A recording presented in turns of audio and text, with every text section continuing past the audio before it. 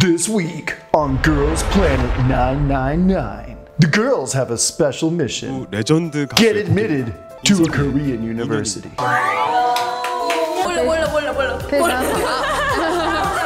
진짜 작고 좀 소중한 Hello my people, welcome to the Score Channel. My name is Mechem and today we're going to show you how to study in Korea. Didn't you already do that? No, that was that was North Korea. This is South Korea, a fantastic country that is quickly becoming a top destination for international students. South Korea combines some of the most fascinating ancient culture with some of the most modern city life that you'll find on the planet. You might even see some stray kids there. Now, Korean universities more or less follow the American system for reasons.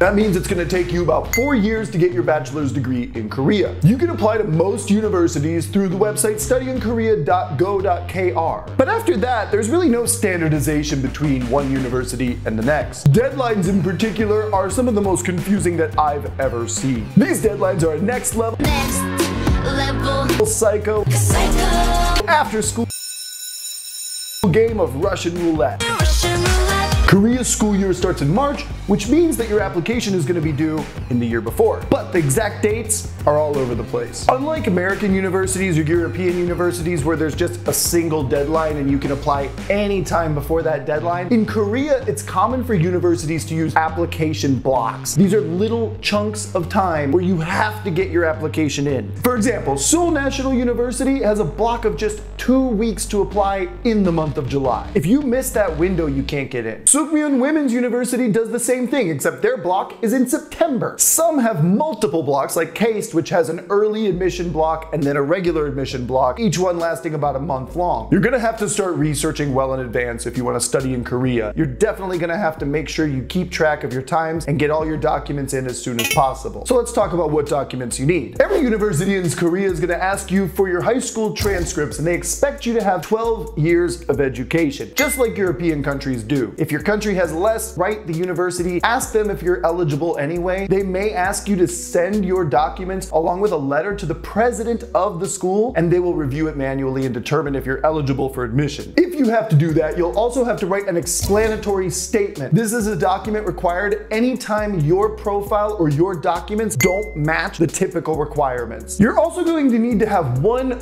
really kick-ass recommendation letter. Korean universities will accept one letter, so make sure it's the best one you have. Like the United States, Korea also cares about extracurricular activities. And if you're interested in that, check out the video we made about it up here. You can upload awards or certificates that confirm your participation in various activities. You will want to document these somewhat. It's not quite like the US where you can just sort of list them in your application and everything's good. They actually do ask for some images or certificates. Get your coaches, for example, to write you a letter that verifies that you were on the team. Korea also accepts AP exams, A levels, IGCSE, and also the International Baccalaureate or any other European baccalaureate. If you've gone through any of those systems, you're in smooth like butter. smooth like butter. Now, all documents do need to have an apostille seal and they need to be translated either into English or Korean. And speaking of translation, it's a good time for us to talk about the language barrier. If you want permission to dance, you're gonna have to take some language tests. Now, there are programs that are entirely in English, so you can just take an English test and get admitted. If that's the case, you're gonna have to take a TOEFL or an IELTS with a score of at least 80 or 6.0 to enter. However, the majority of programs are either mixed language programs or they're entirely in Korean. The TOPIK 2 test is the one that you want to take, and then from there you're gonna try to get at least a level 3, which is passing the TOPIK 2. If you can get a level 3, you'll be able to get into university, but you will have to take some extra Korean courses, and you won't be able to register for your major specific courses. Only general education courses for the first year. If you get level 4, you'll be able to register for some of your major specific courses. You only have to take one semester of Korean, and level 5 basically means you could be a member of EXO. Like the SAT, the TOPIK only comes around a few times a year. Outside of Korea, there may only be one chance for you to take the test locally. Here in Lima, for example, there's only one day a year where we can take the the test. If you really need to take the test and you've missed your one opportunity, I would honestly recommend that you actually go to South Korea since there are more dates in Korea and it would be a good opportunity for you to check out the universities, get to know the area a little bit more, and see if it's really a good fit for you. While you're there, you can also practice your Korean, which you're going to want to use. Korea ranks more or less around Italy and Spain in terms of its English language proficiency. Once you get outside of Seoul, you're going to find that not a lot of people speak or even understand English, so you want to learn some Korean just to be able to get around and enjoy the culture. On the bright side, Korean is not nearly as difficult as a language like Japanese or Chinese. You don't actually have to memorize thousands of symbols with Hangul, so it's a little bit easier to learn. I would say the language barrier is three K-pop stars out of five.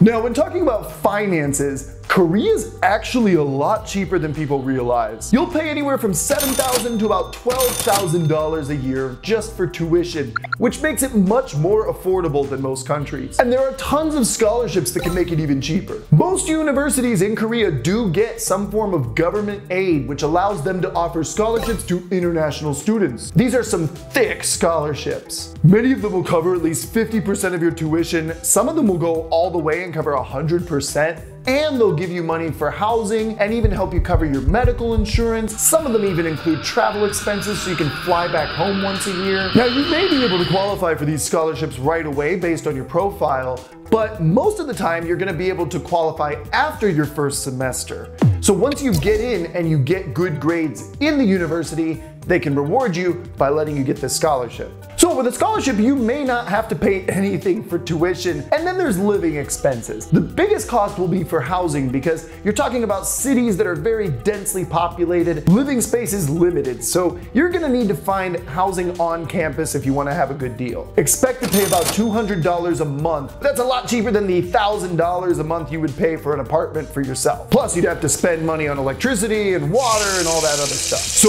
all in all, you could easily study in Korea for less than $10,000 a year. And even if you don't get a scholarship, you're looking at spending only about $20,000 a year, which is much more affordable than you would have to spend in, say, the United States or Canada. You'll have plenty of cash left over to dance the night away.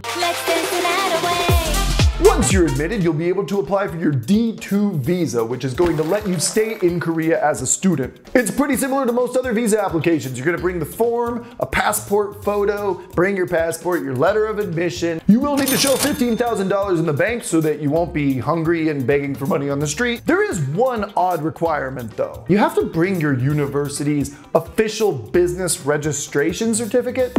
Apparently, this is sort of a way for you to confirm that the university is actually a legit accredited institution. Why they don't just have a list of these is beyond me, but apparently, some universities will just send this to you when you are admitted. Others, you may have to request it, but it is something that the embassy is going to want to have along with your application. Your visa is good for two years, but once you arrive, you'll get your alien registration card, and then you'll be able to live in Korea and come and go as you please. If you want to work part-time while you're there, you can do so. All you have to do is ask for an S3 visa that goes alongside your D2 visa and you'll be able to work part-time. And that, my people, is everything you need to know to study in South Korea. If you're interested in other countries, we have a God's menu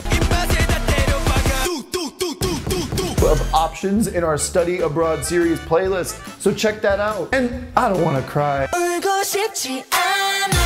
So please consider subscribing to the channel so that my cat comes back, and I'll see you next week.